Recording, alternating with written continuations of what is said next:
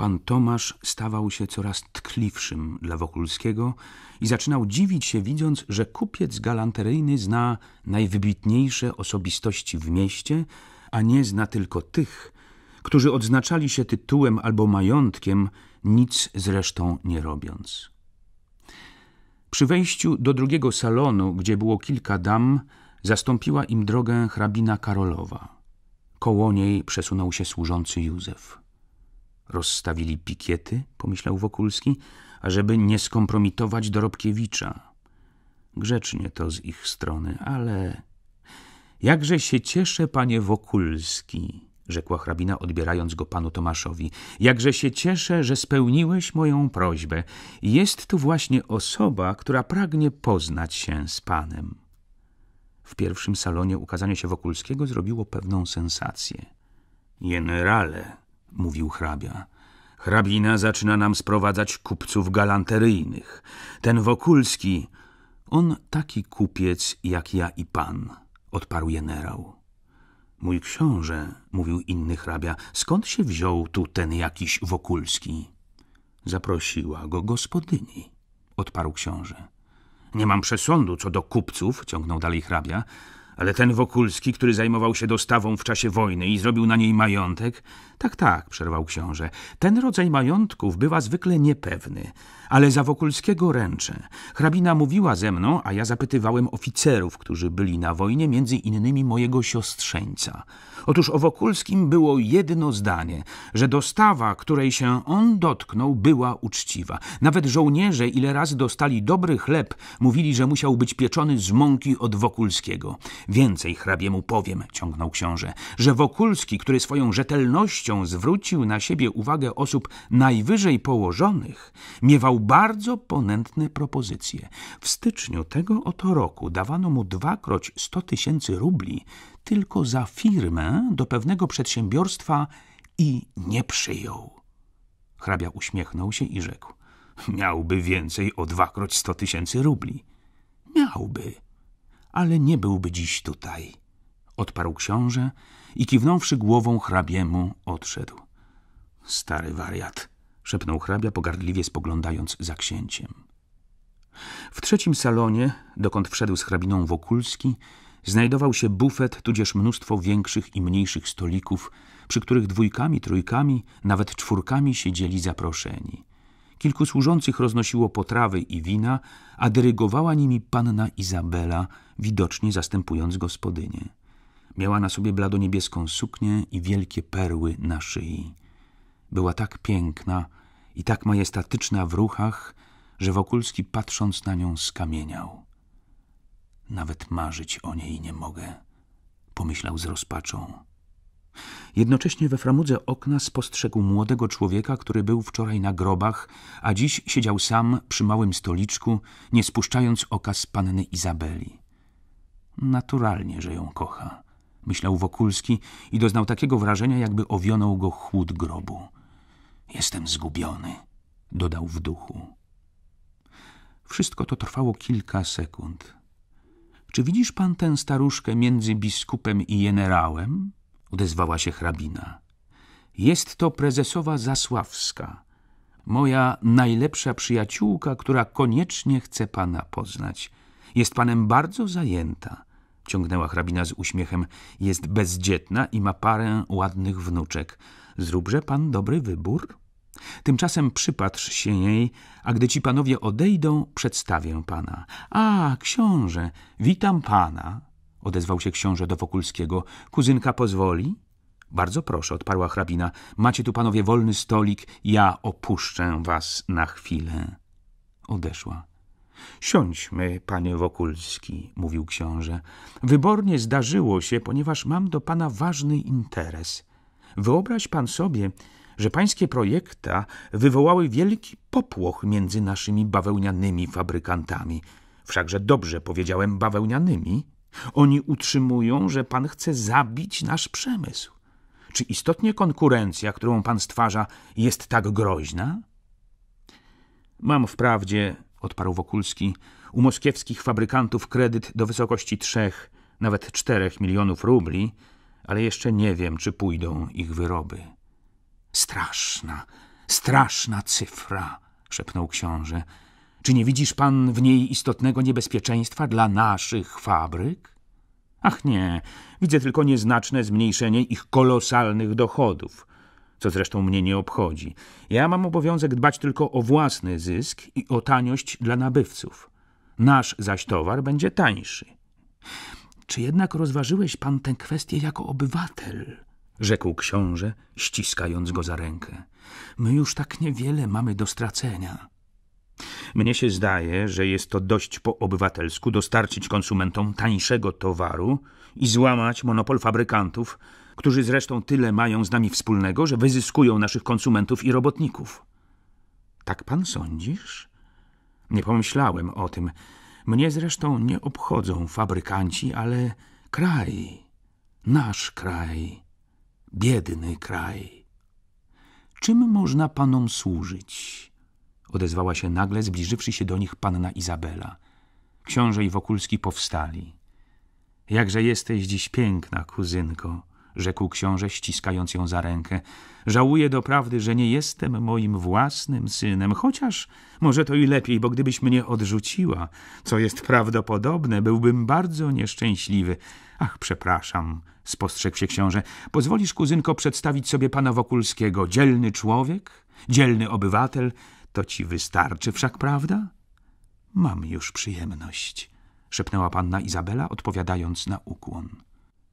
Wokulski spojrzał jej w oczy i dostrzegł takie przerażenie, taki smutek, że go znowu opanowała desperacja. Po com ja tu wchodził? pomyślał.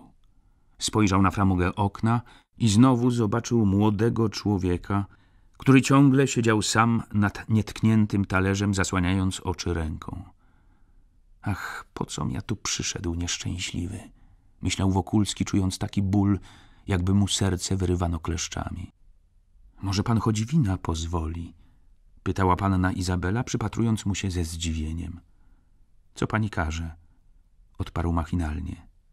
Musimy się lepiej poznać, panie Wokulski, mówił książę. Musisz pan zbliżyć się do naszej sfery, w której, wierz mi, są rozumy i szlachetne serca, ale brak inicjatywy. Jestem dorobkiewiczem, nie mam tytułu, odparł Wokulski, chcąc cośkolwiek odpowiedzieć. Przeciwnie, masz pan Jeden tytuł pracę, drugi uczciwość, trzeci zdolności, czwarty energię. Tych tytułów nam potrzeba do odrodzenia kraju. To nam daj, a przyjmiemy cię jak brata. Zbliżyła się hrabina. Pozwoli książę, rzekła panie Wokulski. Podała mu rękę i poszli oboje do fotelu prezesowej.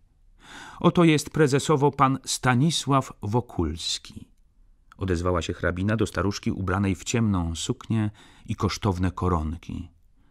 Siądź, proszę cię, rzekła prezesowa, wskazując mu krzesło obok. Stanisław ci na imię, tak? A z którychże to Wokulskich? Z tych nieznanych nikomu, odparł, a najmniej chyba pani.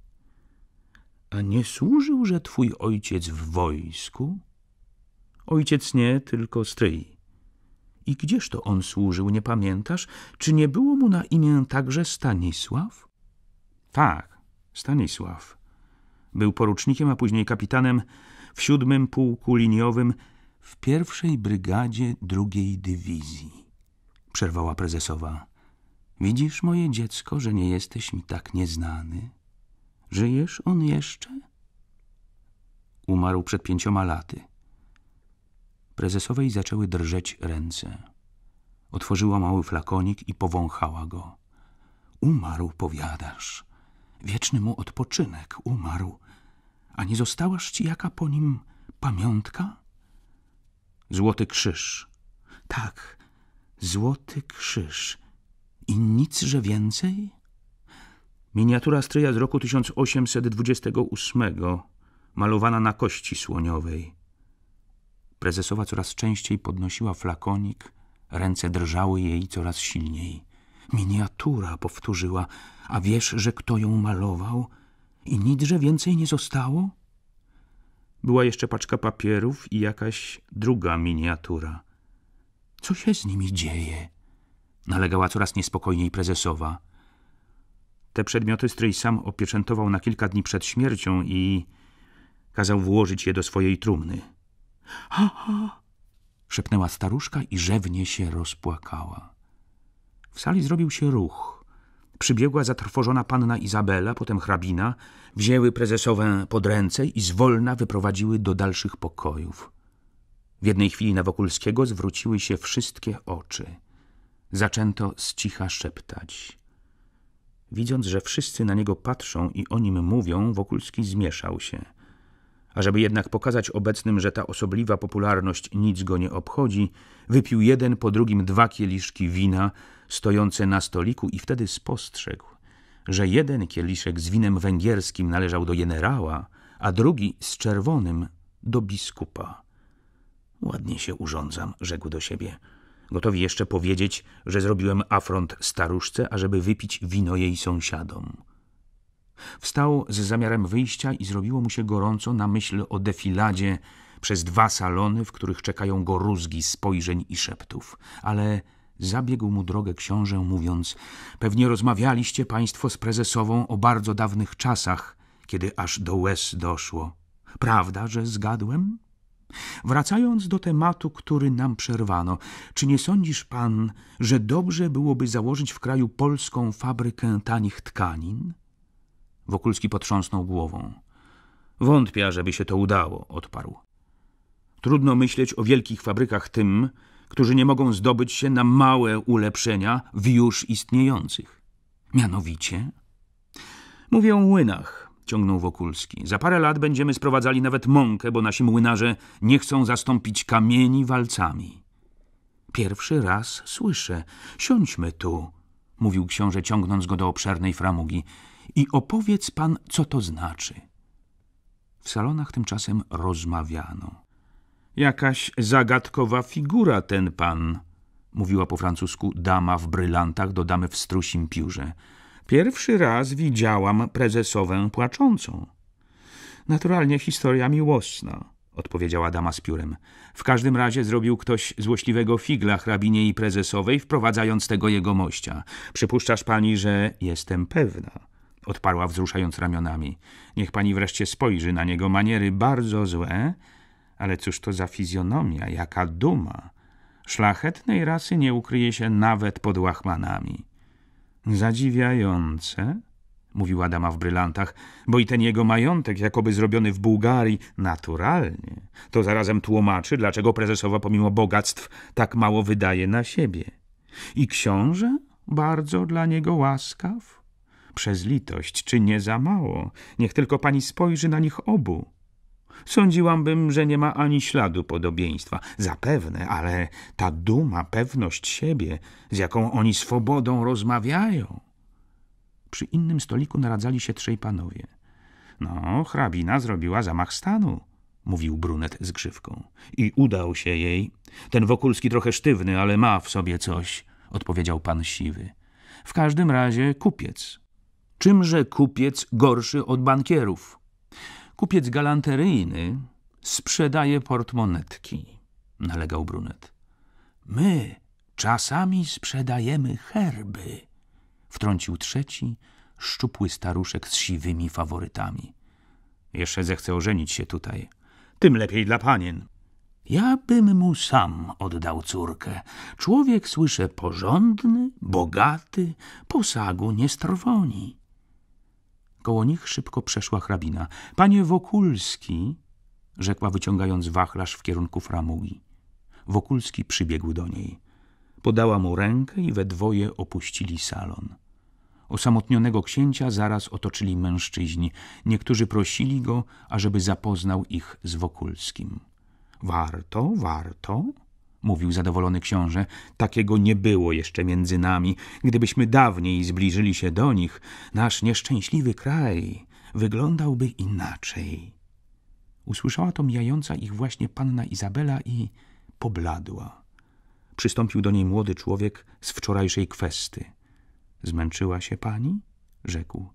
Trochę, powiedziała ze smutnym uśmiechem.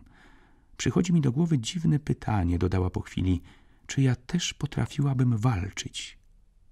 Czy z sercem? zapytał. Nie warto. Panna Izabela wzruszyła ramionami.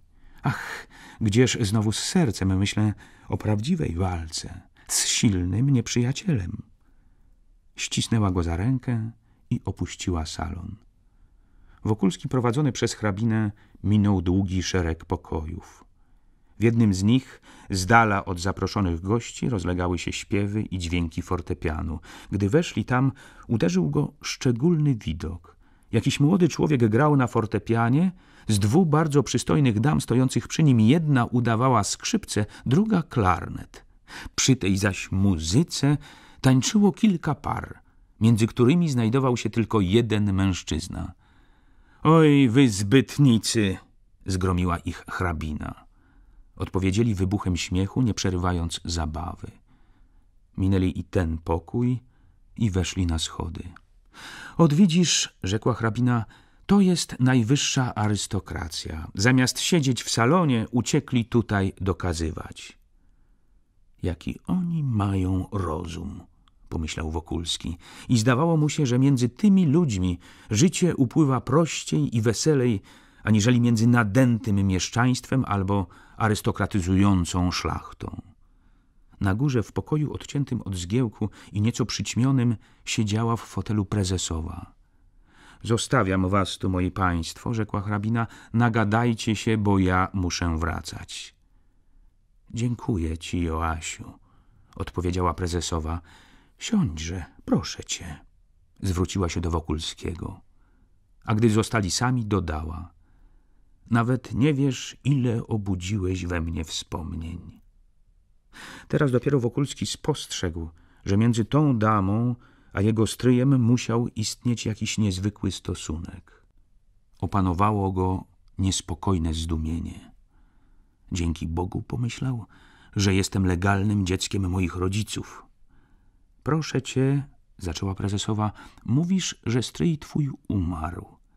Gdzież on, biedak, pochowany? W Zasławiu, gdzie mieszkał od powrotu z emigracji.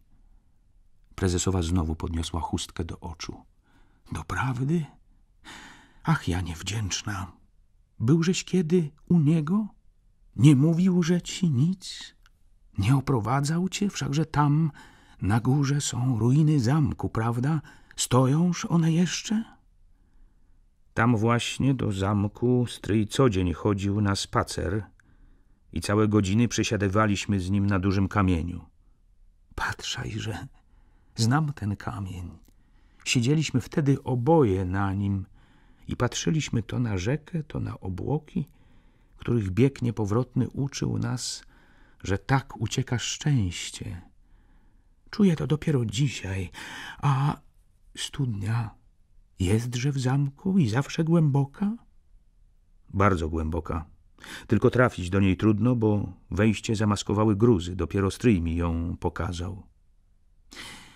Wiesz, że ty mówiła prezesowa, że w chwili ostatniego z nim pożegnania myśleliśmy, czy by się do tej studni nie rzucić?